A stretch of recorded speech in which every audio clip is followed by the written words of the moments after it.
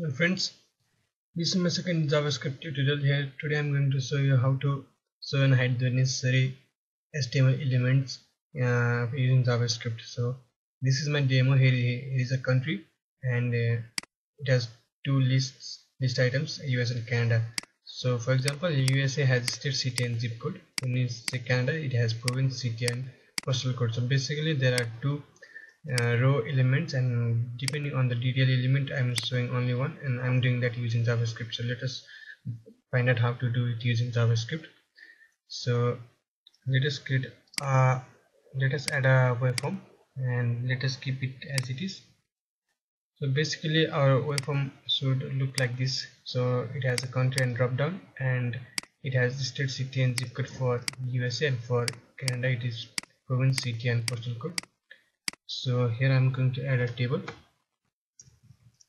And it has t3 tier. So let us copy. So this is for the country. Down. This is for the USA controls and this is for Canada controls. So I've already done it. Let, let's just copy and paste it here. So for the first tier it has country and it has drop down. Control KD for formatting has it has uh, id detail country. It has uh, on change con on change event uh, named on selected for javascript. And it has two list items. And for this one let us id equal to tr usa it is for usa that is why it is named as usa tr canada so I'm just going to copy the elements of USA so USA has state city and zip code. And for Canada it has province city and postal code. So let us save it and see the design. So it is going to look like this. State city and zip code and province city and postal code. So I'm going to close this webform 2 for now and just work with the webform 3 so here uh, it has there's uh, the US and Canada controls and here it is the onChange uh, JavaScript function let us copy the function and write it here.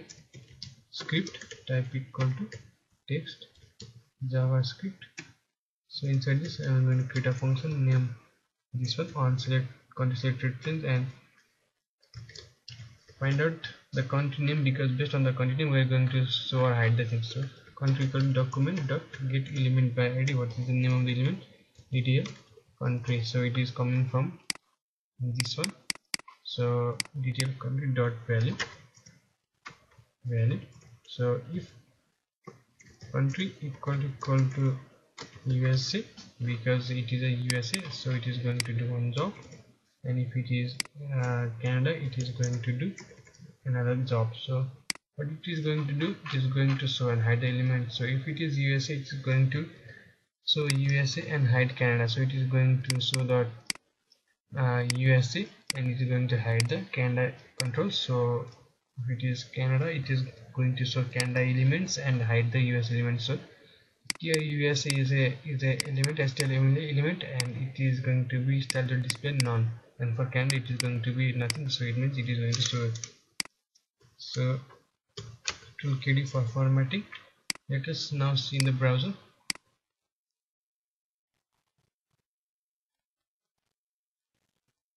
Yes here we are getting we are getting both of these because for the first time we, uh, we have done nothing to load only once only one. So if we change it to Canada it is showing province city and postal code which is correct and for US it is showing state city and zip which is also correct.